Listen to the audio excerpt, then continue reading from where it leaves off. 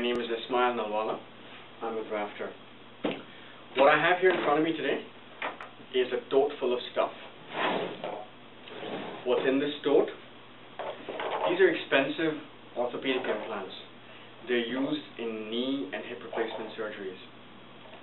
So what I want to do today is I want to figure out exactly what's in this tote.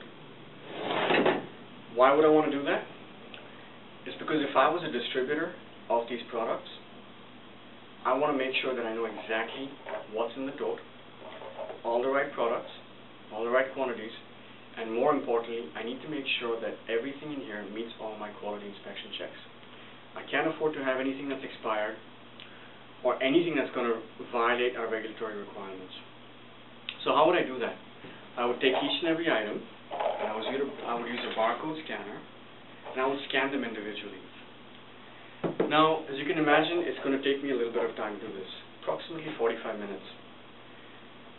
Another problem is, I could make a mistake. I could actually double count something, or I could even probably leave something out.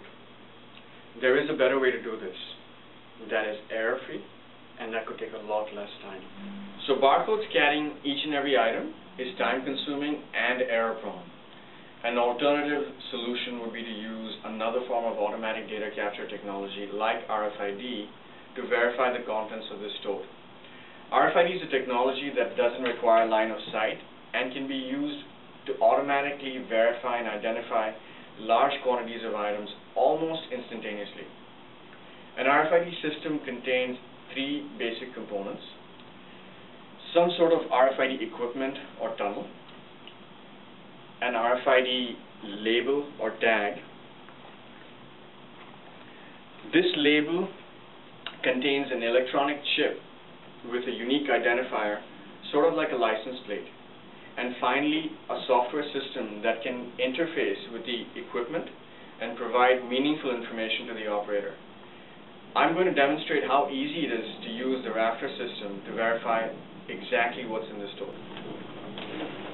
This tote contains 80 products of different shapes and sizes that are not organized or stacked in any particular manner. This is a Raftar tunnel. I'm going to push this tote through to verify its contents.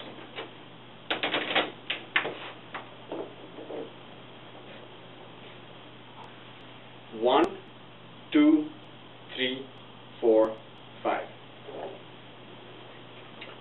Now, here's what I was able to do in five seconds. I was able to identify exactly all the items. I know the quantities, each and every product type, along with the manufacturing information like batch and serial numbers. And how do we do this in five seconds?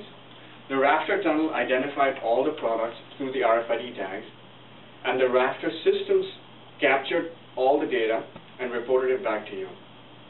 What I have shown you is how the Raftar system provides a powerful and cost-effective way for companies looking to automate warehouse operations like shipping, receiving, and inventory management. Please visit our website for more information.